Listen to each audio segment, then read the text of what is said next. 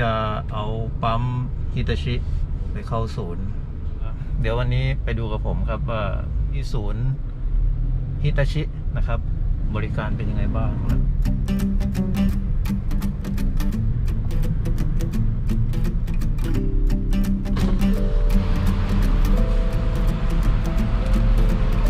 ใช้เส้นทางวงแหวนรอบนอกนะครับ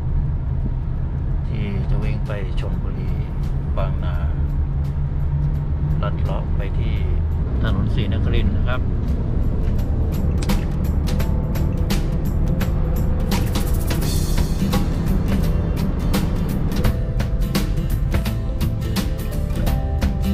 วันนี้ผมกำลังเดินทางไปที่ศูนย์ฮิตาชินะครับ เพื่อที่จะนำปั๊มบาดาลตัวที่ผมถ่ายทำเมื่อครั้งที่แล้ว ไม่สามารถแก้ปัญหาได้นะครับ ผมก็เลย ต้องนำปั๊มตัวนี้เพื่อส่งเข้าไปที่ศูนย์นะครับ หลังจากผมใช้ปั๊มตัวนี้มาประมาณสองปีกว่านะครับแต่ใช้จริง ๆ ก็ประมาณปีกว่าครับใช้ถ้านับชั่วโมงการใช้งานจริงๆก็ไม่ถึงปีโอ้จะไปดูกันครับว่า ที่ศูนย์ฮิตาชิ ที่ถนนศรีนครินนะครับ เขาบอกว่า ศูนย์อยู่ตรงข้ามแมคโครบิ๊กซีถนนศรีนครินนะครับ จะอยู่ฝั่งตรงข้ามนะครับ อยู่ด่านสำโรง ช่วง บริษัทว่องไววิทย์นะครับ มาถึงศูนย์ซ่อมฮิตาชิแล้วครับ เป็นเหมือนโกดังเก็บของนะครับ แล้วก็จะป้ายบอกอยู่เป็นฮิตาชิ เดี๋ยวผมจะเข้าไปติดต่อที่ศูนย์ด้วยนะครับ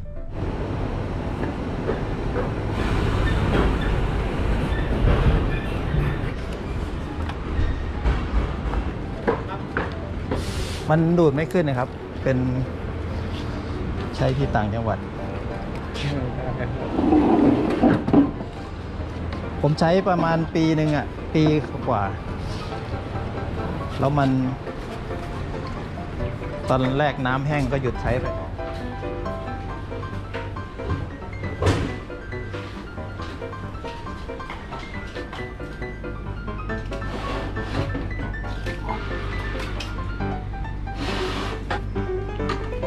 ผมมีปรับตรงเนี้ยน้องนั้นไม่ได้ทำอะไร ส่วนใหญ่ก็จะปรับหาแรงสูงครับพอดีดูใน YouTube เลยเห็นเขาปรับเลยลองปรับดู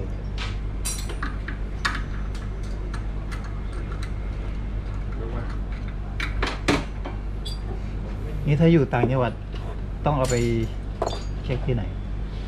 ต่างจังหวัดลูกค้าอยู่ที่ไหนครับผมอยู่บุรีรัมย์บุรีรัมย์ต้องบุรีรัมย์เหรอครับ ติดต่อกับเซลล์เลยครับ เวลาพี่เอาไปเรืองแสงไทยเลยครับ แสงไทยเรืผมองแสงไทย ผมซื้อที่ตรงอำเภอพยัคฆ์จังหวัดมหาสารคามครับครับก็พี่วิ่งเข้ามาเวลาเพื่อพี่เอาเข้าเรืองแสงไทยครับเรื่องแสงไทยเนาะเรืองแสงไทยครับอืมเคลียร์ให้หมด ผมนะ เดี๋ยว ช่างกำลังเช็คอยู่นะครับเจ็ดคู่เจ็ดคู่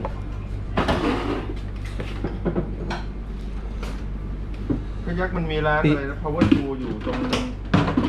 ไฟแดงก่อนถึงโรตัสอะแต่ไม่รู้ว่าเขารับซ่อมหรือเปล่าอ๋อไอ้ power two ร้าน power two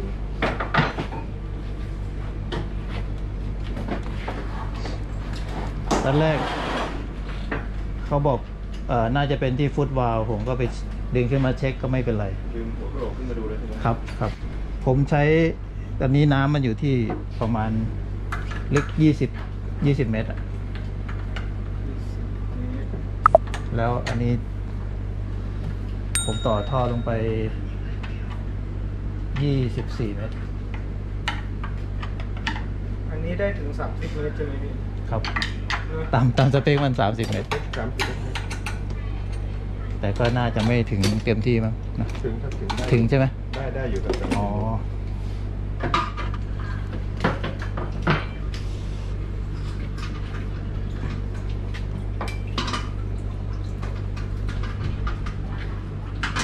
พี่ถามนิดหนึ่งไอตัวท่อเนี่ยต้องใช้หนึ่งนิ้วใช่ไหมทั้งสองท่อเลยใช่ไหมใช่ครับต้องใช้หนึ่งนิ้วเพราะว่าหัวเจ็ตมันก็เป็นหนึ่งนิ้ว อ๋อ ก็ใช้อันนี้จะเป็นน่าจะด้านดูดน่าจะเป็นสองนิ้ว ด้านดูดสองนิ้ว ใช่ครับตัวด้านดูดมีตัวปิดนะ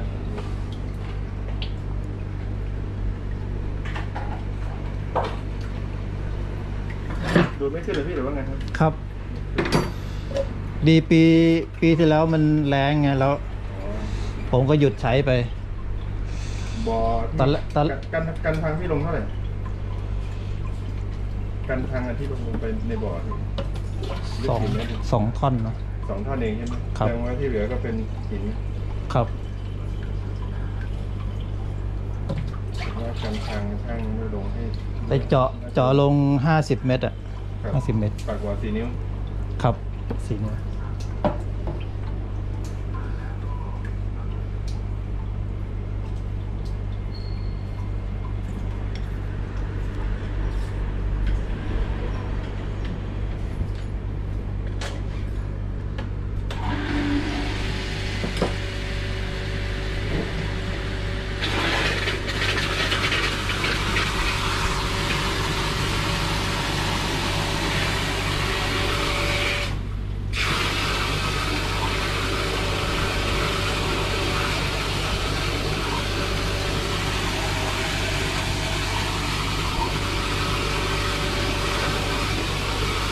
พุทหัวไม่รั่ว พุทหัวลมปั๊มไม่รั่วถ้าถ้ารั่วไม่ขึ้นนะ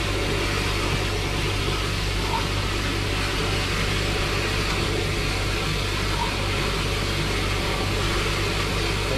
ไอ้ตรงตรงท่อที่จับขาเขาอะไรยึดไว้อยู่ใช่ไหมยึดครับ ยังยังไม่ขาดีอยู่นะตรงหมายถึงตรงนี้ใช่ไหมอ่าใช่ครับเนี่ยต้องทำทำเป็นข้อต่ออ่าใช่ครัทำบข้อต่อแล้วก็รัดรัดด้วยเหล็กครับผมใช่ใช่ ก็เลยส่วนมากแล้วมันมันล้างแล้วมันพอเก็ตตรงนั้นลมชอบเข้านะลมชอบเข้าไปตรงข้อต่อลมรัดอ่าตรงนี้รัดรัดรัดรัดตัวตัวตัวสองตัวนัดเราไปดีกว่าเพราะว่าบางทีเราลงสองเส้นมันหนักจะหนัก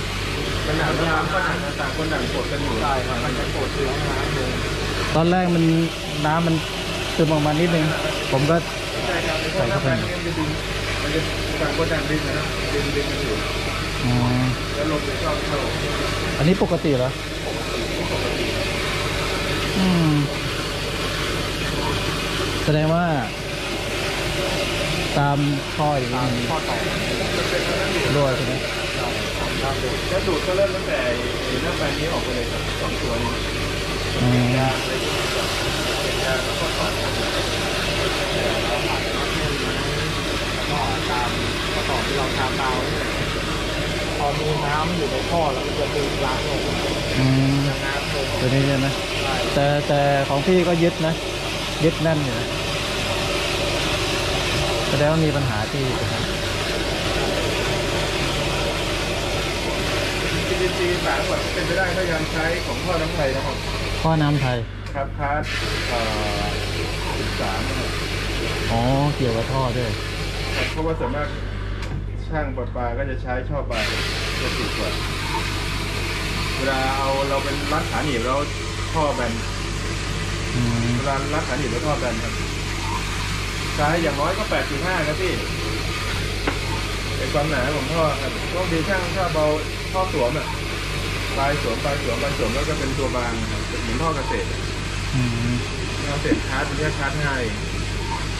ก็อย่างน้อยก็เป็น8.5แปดจุดห้าคือเอาหนาสุดนะนะดีสุดอืม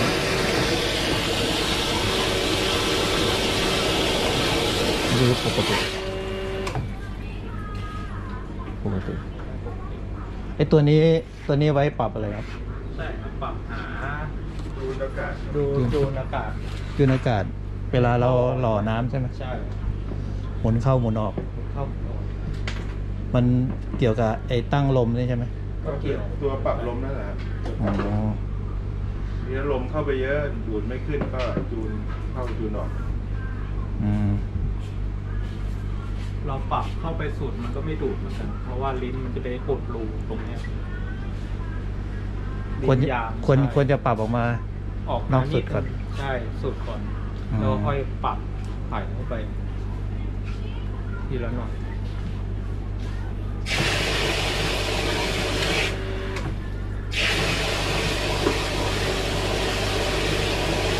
ถ้าผมอยู่ที่นี่ผมต้องตายออกเลยตอนตอนหลังที่ไปเปลี่ยนในฟุตวาลอะ ที่เป็นแบบไอ้ทองเหลืองอะที่เขาขายแล้วก็อ่าที่ร้านเขาแนะนำมาคิดว่าไปก็ ผมก็เลยถอดถอดอันเก่าออก อันนี้มันยังใช้ได้ไหมที่พวกเราไปท่อเนี่ยปั๊มเซ็ตตัวนี้เนี่ยฟุตวาล์วมันเป็นชุดวาล์วแบบธรรมดาถ้าไม่มีสปริงกดนะ อ่าใช่ถ้าที่ไปเปลี่ยนอย่างนั้นบางทีมันมันกดแรงๆไป มันจะมีสปริงอยู่นะครับไอ้พวกฟุตวาล์วทางนั้นเปลี่ยนคืนใช่ครับคือมันเหมือนกับว่าเขาต่อหัวเสริมอะแล้วฟุตวาล์วมันเป็นฟุตวาล์วย้อไปอะไรเนี่ยแล้วสปริงจะแข็งอะครับจะดึงตัวแรงจ ริงๆปั๊มพวกนี้มันเน้นดูดลึกนะครับ มันเน้นดูดลึกแต่ว่าถ้ามีสปริงไปกดอะไรไปกดแรงๆบางทีมันไม่คืนไม่ยอมเปิดอ๋อแรงใจมันน้อยครับบางทีถ้ามันแข็งมากมันก็ไม่ไม่ยอมเปิดนะครับถ้างั้นต้องไปเปลี่ยนกลับตัวเดิมปรับตัวเองด้วยอันเดิมเพียที่งก็อันเดิมที่เอาน้ำใส่เข้าไปดูก็ได้ว่ารั่วไม่รั่วครับอ้อ้ไม่รั่วไม่รั่ว ผมลองดูแล้ว ถ้าไม่รั่วก็ไม่มี แต่ถ้าพี่จะต่อไปแล้วใส่พวกเราอีกตัวหนึงก็ได้ แต่ว่าเป็นพวกเราธรรมดาที่ไม่มีสปริงดึงตัวกลับตัวเดิมรู้สึกมันจะเป็นแค่ตัวเหมือนเหมือนเป็นลิ้นธรรมดาครับอ่าเหมือนลิ้นลูกลอยธรรมดา ลิ้นลูกลอยครับต๊อกแต๊กอ่าต๊อกแต๊กขึ้นอ่าอ่าใช่ใช่มีแค่นั้นใช่ไม่ไหมมีสปริงกดครับอ่าไม่มีสปริงกดอืม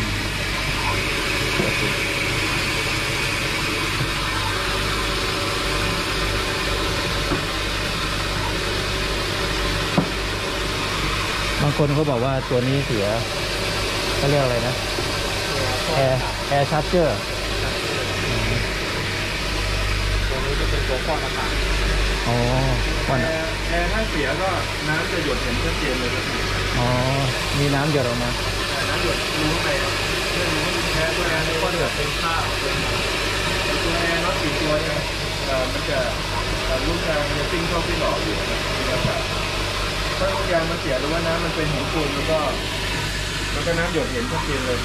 อืมถ้าล้างแล้วไม่หายก็ก็เปลี่ยนมันคือก็ได้ไม่ไม่ไม่ไม่ไม่อ๋อขอล้างได้ก็ถอดล้างได้ถอดล้างได้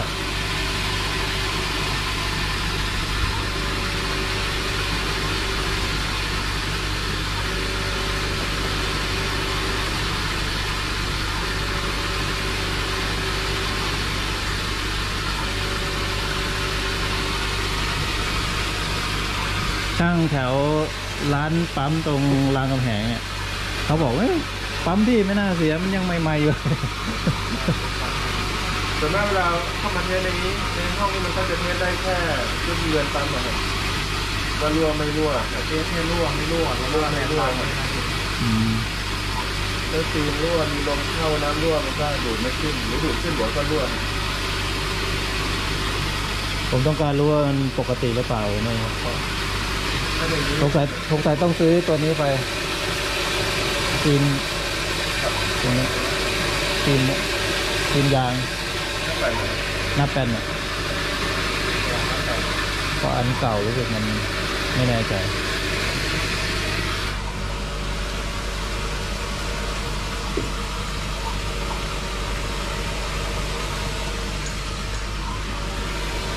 ที่เซอร์วิสอยู่แถว ทางโน้นเหรอครับบุรีรัมย์ อ๋อเปล่าครับผมบิ๊กเซลอ๋อ ขึ้นไปทุกเดือนอยู่ครับแต่ก็ไปดูร้านในอีสานอยู่อืมเป็นรู้จักทางโน้น แต่นั้นแหละพี่ไปมาอยู่ทางโน้นน่าจะใช้เยอะเหมือนกันนะ โอ้ใช้เยอะกว่ากันนะผมกล่าวว่าถ้าไม่ขึ้น กำลังจะไปเปลี่ยนเป็น submerse แล้วก็ submerse ก็ดีนะแต่ว่า submerse เสียกว่าเยอะเวลาฟ้าลงมันชอบต้องวัดดวงนะครับ อ๋อ แต่พวกนี้มันจะไม่ค่อยเสียหรอก submerse ถ้ามันมีกันไฟฟ้าลงได้ก็ดีไฟฟ้าลงนี่วัดดวงเลยเสียไปเลย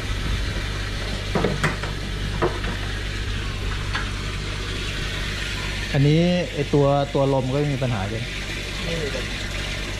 เป็นน้องต่อท่อเดียว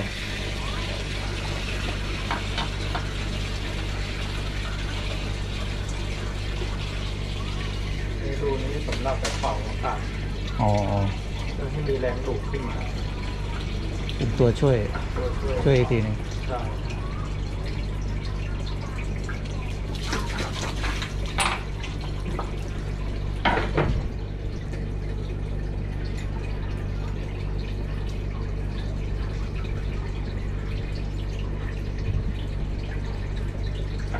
ศูนย์กรุงเทพนี่มีกี่ที่ครับ ที่เดียวนี่ที่เดียวครับอ๋อ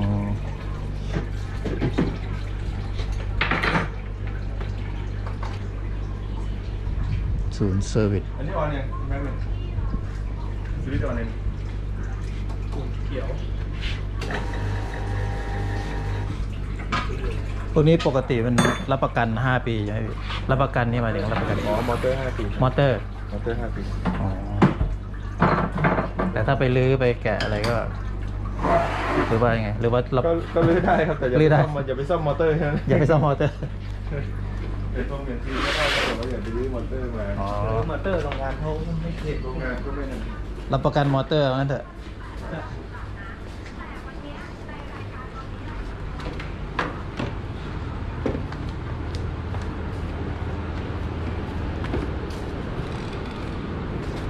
ขอบ คุณมาก ต้องเสียค่าบริการอะไรไหม ไม่เป็นไร ไม่เป็นไรนะครับโอเคขอบคุณมากนะ หลังจากที่ให้ศูนย์ฮิตาชินะครับ เขาเช็คแล้ว น้องเขาก็ให้คำแนะนำว่าเอ่อน่าจะเกี่ยวกับซีนต่างๆนะครับ ตรงท่อแล้วก็ตรงข้องอ ข้องอฉากตรงข้างบน แล้วก็ยึดยึดท่อ ให้แน่น ๆนะครับ แล้วก็ท่อที่ใช้ควรจะใช้เป็นท่อแบบหนา ท่อบางมันจะรั่วง่าย มันจะอากาศมีอะไรเข้าไปง่ายนะครับ น้องเขายืนยันว่าสามารถดูดได้ถึง 30 เมตรนะครับ ก็ต้องกลับไปทำเช็คใหม่ดีๆนะครับ ราะปั๊มเราไม่ได้เสียอะไร แล้วน้องที่ให้บริการเขาก็ไม่พูดมาก เขาคุยดี ไม่ค่อยพูด แล้วก็บริการดีมาก เช็คให้ทุกอย่างละปั๊มเราปกติครับนำเขาไปติดตั้งใหม่ แล้วก็เช็คพวกซีนพวกข้อต่อพวกเอ่อเขาเรียกอะไร กาวพันเกลียวทั้งหมดให้แน่นนะครับ ให้แน่นมากที่สุดนะครับ ปั๊มก็จะกลับมาใช้ได้เหมือนเดิม เอาละผมสบายใจแล้วครับ ผมจะกลับไปติดตั้งปั๊มผมใหม่อีกครั้งหนึ่ง เดี๋ยวคอยติดตามชมนะครับ ว่ามันจะใช้ได้ไหม หลังจากผมกลับไปที่สวนผม แล้วก็ติดตั้งให้เพื่อนๆได้ดูอีกครั้งหนึ่งนะครับ เดี๋ยวติดตามตอนต่อไปครับ สวัสดีครับ